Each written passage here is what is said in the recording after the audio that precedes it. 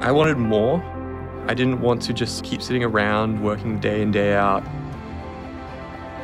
ECU was the right choice for me because I could surround myself with like-minded people.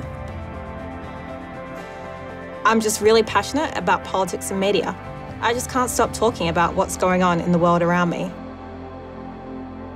My parents have really inspired my interest in politics.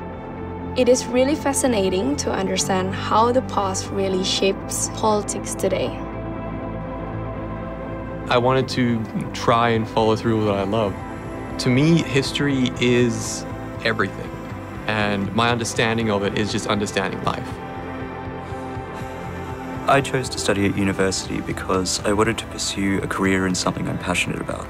As a writer, I get to be creative and play with some new ideas. The lecturers are very great because they actually have industry experience. I feel so lucky to be able to study in such a variety of disciplines. Studying arts at ECU really has prepared me for the industry. I'm inspired by my dad's political work and I can't wait to follow his footsteps.